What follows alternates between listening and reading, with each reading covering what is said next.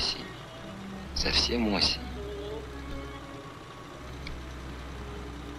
В туман, и когда разливаются реки, ночью и днем, ведем мы свои машины.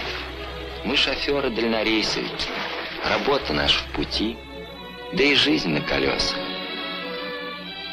Все это началось тоже в дороге. С вами «Дорожная волна». В связи с рекордной жарой по северному Нечерноземью продолжают полыхать лесные пожары. По данным природоохранных комитетов, пожарами уже охвачено в общей сложности более 100 квадратных километров леса.